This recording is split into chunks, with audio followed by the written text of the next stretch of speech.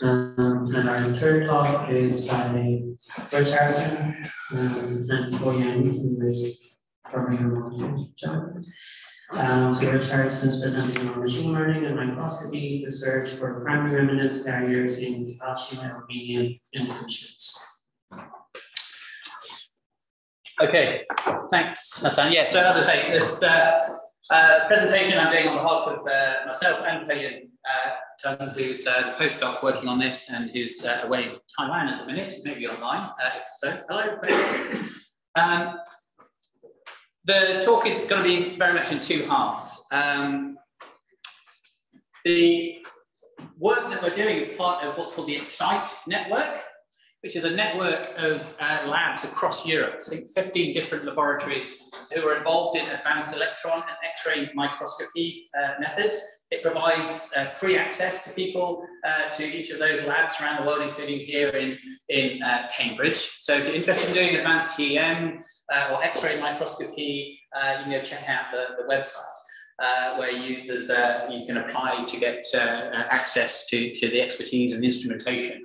And as part of this project, we our role in this is to be, develop some uh, tools uh, for the analysis of microscopy data and, and uh, the use of machine learning specifically.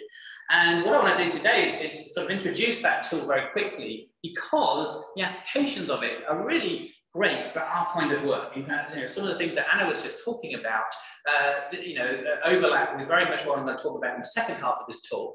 But we're looking at the application of this new uh, method to, to examine the, the, mineralogy of our samples, especially when you have complex uh, mixed mineralogy and, and, minerals, the iron oxides, which are very small uh, and overlapping. Uh, and the, the theme is, is, again, to carrying on this idea of aqueous alteration in carbonaceous chondrite meteorites. So I'm going to very quickly introduce you to this uh, this uh, machine learning tool and then hopefully show you how it can be used uh, very nicely as part of a kind of a workflow, very typical to, to, to this community's needs. So typically when we're doing SEM data on our, our rocks, or in this case, uh, the SEM image on the, on the left here is of a, a synthetic air pollution sample where lots of different types of mineral grains all thrown onto a substrate and overlapping with each other. And our job is to, is to peer through that haystack and try and find out where the magnetic minerals are. Where are the iron oxides? What kind of iron oxides are there? Are the metals there, uh, etc. But it's a very complex image. And what we would like to do is to use uh, sort of modern machine learning uh, methods to, to automate the process of analyzing this kind of data, finding out what minerals are there, unmixing them, finding the chemical spectra so that we can identify uh, what's there. So that's the, the, kind of the aim of what we're doing. Uh, and so schematically, uh, how we do that. So this sample here is a load of mineral grains dumped onto a substrate, they're sort of overlapping with each other. We collect in the SEM uh, chemical mapping data. So we're scanning across our sample, uh, collecting elemental maps of the different elements we're interested in, iron, magnesium, silicon, oxygen, all, all of these things. So we have a stack of chemical maps acquired from our, from our sample. Uh, and the idea is to, can we use machine learning to identify clusters of similar behavior? So this obviously is the same thing as here. Okay, so they would cluster together. Uh, the, this is a different cluster uh, to this. Uh, and then once we've identified those clusters, then unmix the different individual um, mineral phases that correspond uh, to those, those things. So typically, if we're interested in iron oxides, uh, we want to we want to be able to separate out the individual spectra from the from the iron oxides that are in our in our, in our sample, and we want to do this automatically, you know, without having to think about it. And this is the sort of task that machine learning is very good. Um, so our tool that we've developed as part of this network is called Sigma. Stands for uh, spectral interpretation using uh, Gaussian mixtures and autoencoder. Handily trips off the tongue. Uh, Sigma for short. And it's based around this, this particular uh, principle here. So uh, we're using what's called a neural network autoencoder. Okay, this is a, a machine learning uh, tool. What it basically does, it takes our, our, our, chemical map, our stack of chemical maps, okay, which is a, which is a, a multi-dimensional data. So every pixel in our map uh, has, has, has numbers associated with it for the, the chemical uh, compositions of the different elements we're interested in. So this could have a list of 10, 11, 12 elements. So this would be a 12 dimensional uh, data set and you've got thousands of pixels in your image. What the autoencoder does is it designs a neural network that translates all of that multi-dimensional information into just two dimensions, what is two-dimensional latent space. Now, if you're familiar with FORC PCA, this is a bit similar, where you take all of your FORC diagrams and you boil it down to just a two-dimensional PCA score plot, and each point on your score plot represents a, a, FORC diagram. This does essentially the same thing, but rather than using principal component analysis, this is using a, a more sophisticated non-linear uh, mapping based on this, this neural network. So we can encode this data into just two dimensions, uh, which makes it easy to visualize. Uh, and at the same time, you're, you're, you're training a decoder to turn that uh, simple two-dimensional information back into your chemical spectrum. Uh, and the training happens by making sure that the output here is as close as possible uh, to the input here.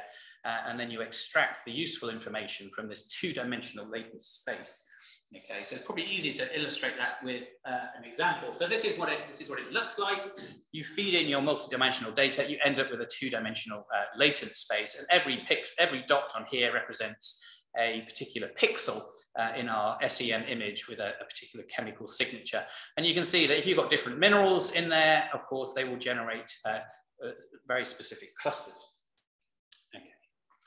So the Gaussian mixture modeling part, this GMM uh, part, then uses uh, uh, fitting this distribution of points uh, to a series of overlapping uh, two-dimensional Gaussian uh, functions.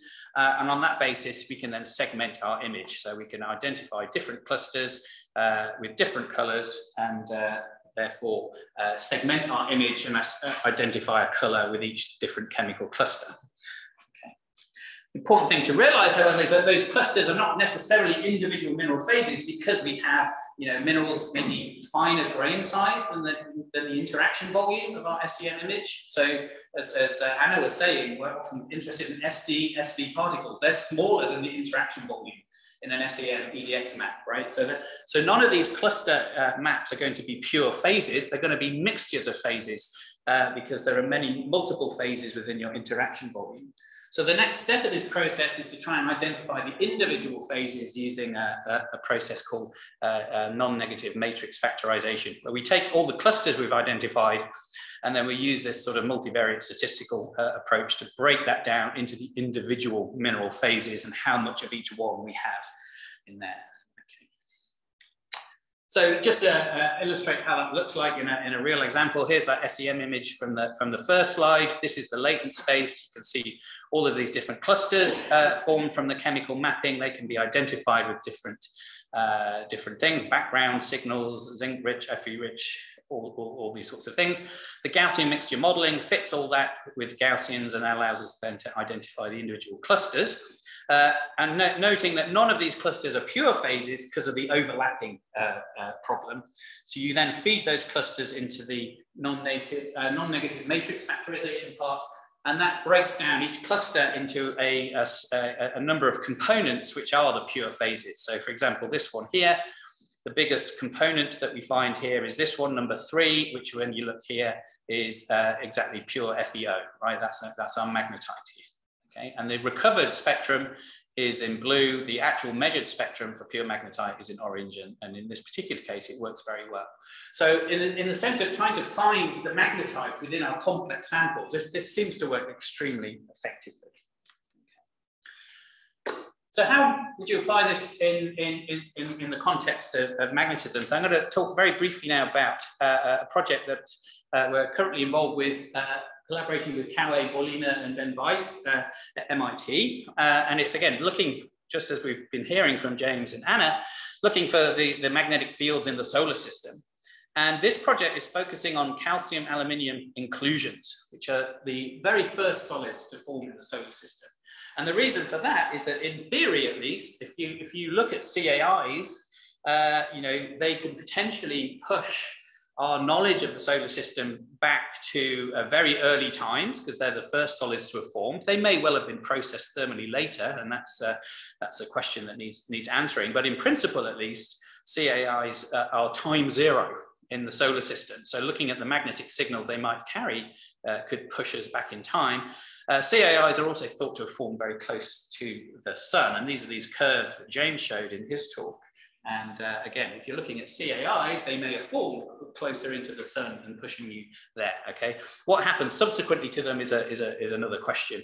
Uh, but in theory, at least, that's the, the motivation for looking at CAIs, is to push our knowledge back in time and space. Um, the, the meteorite we're looking at is, uh, is a CO, uh, carbonaceous chondrite. Again, Anna mentioned that these are, these are relatively unaltered. This is a CO 3.00 meteorite. That means it's the least thermally altered and the least aqueously altered uh, a variety of, of, carbonaceous chondrite. It's this particular one here, Dominion range 08006.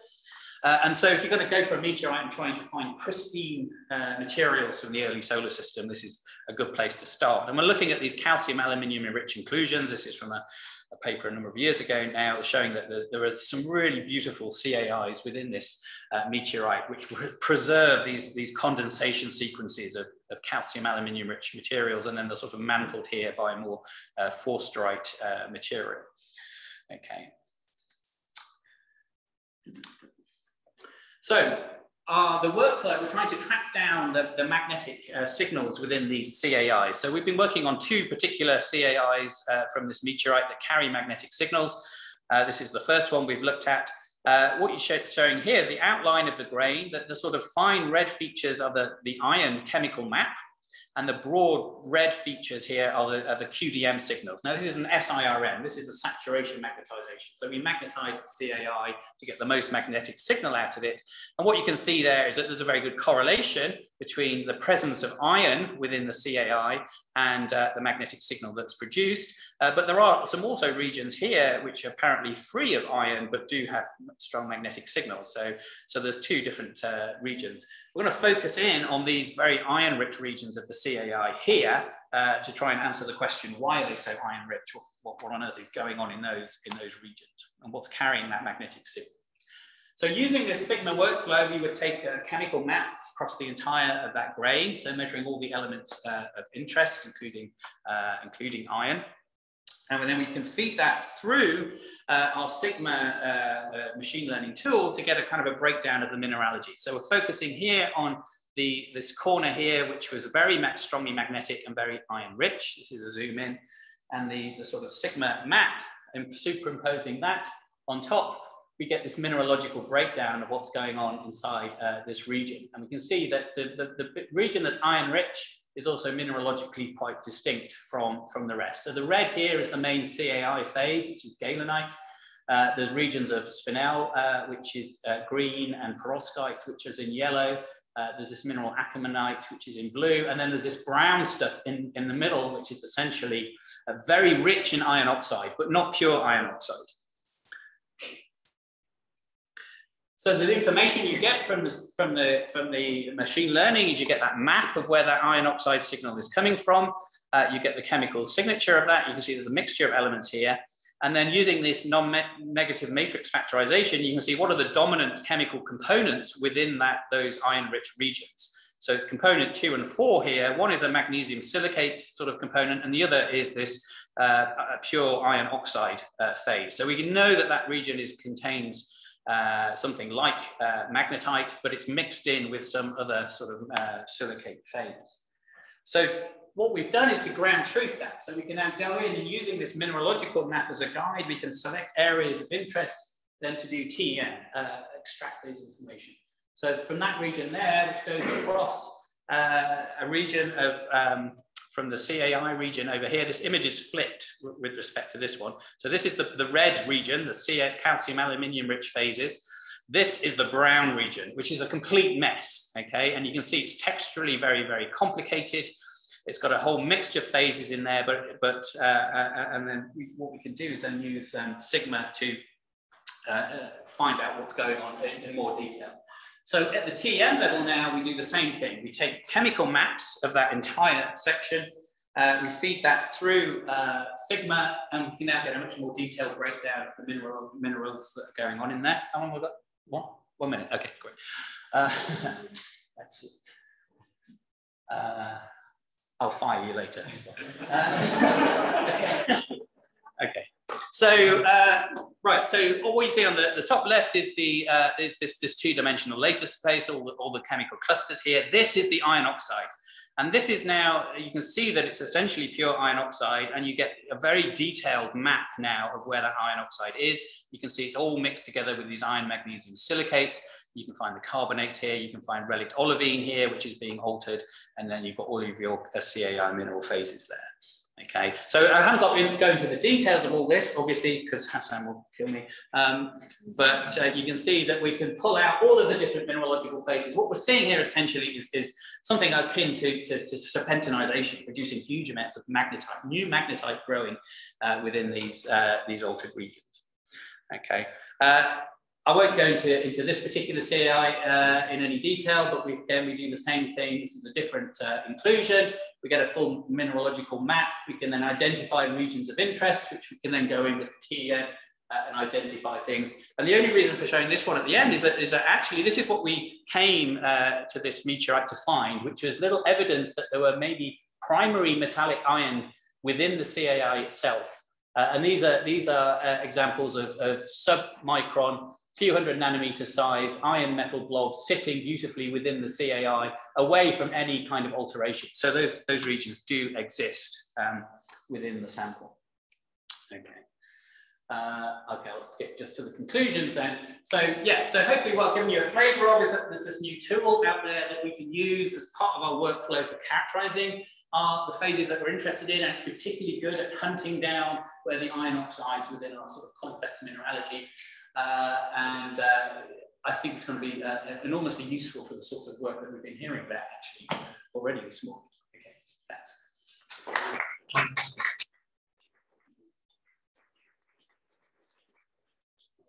Questions? So James. Wait. very reliable that's the question. Yeah, sorry, this I can't see who else is asking, so please feel free to ignore me if I'm not. well, well, James was first, and then. Yeah. So, what does that all mean for the protocol? Yeah, good question. So I think it's a very similar story to what you were talking about, James, right? So we found evidence that there, there is primary metal within the CAI that could, and uh, we need to track, we need to demonstrate it further that, that, that, that those metal the, the, the, pristine primary metal is responsible for the QDM signals they're seeing that, that are away from the iron, right? If that's true, if there is potentially primary paleomagnetic signal in there carried by that metal, you've then got all of this additional magnetite that's forming uh, in some regions. Um, now, if that magnetite was forming in the absence of a field, then you have the same problem that you highlighted. You would be underestimating the paleo intensity massively if you magnetize that magnetite in the laboratory, but it's not magnetized in nature. So that so so I think is finding what 150 microteslas, something like that, for these CAIs. That could be a massive underestimate.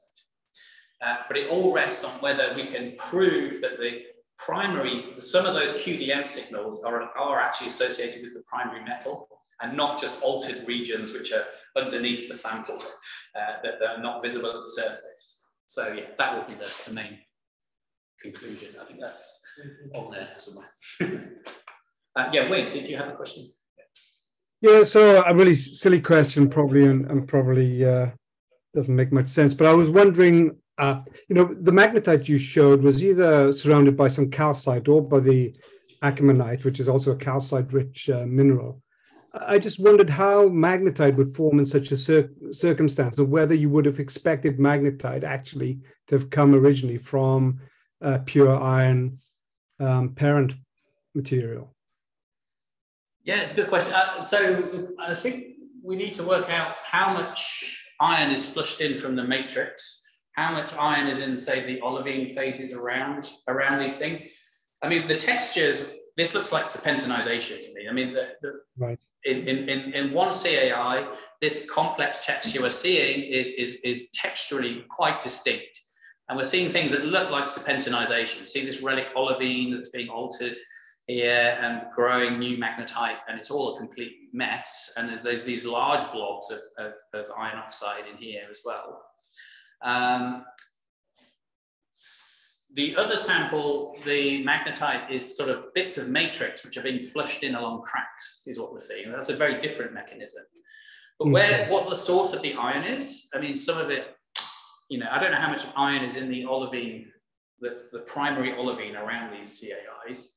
Okay. Um, if you go back to here, you can see that, there is olivine, right, forsterite around mm. these things and the, you, there's bits that get embayed like this. Now, if they if they altered and, and produced uh, magnetite as you do see in serpentinization reactions, then that would explain the sort of textures we get. But how much all how much iron is actually in here to begin with? Perhaps not very much.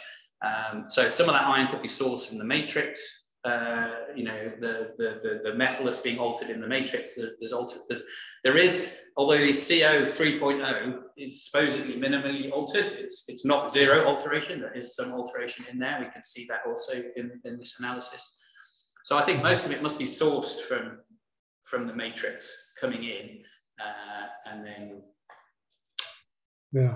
that, that needs, needs uh, some further work.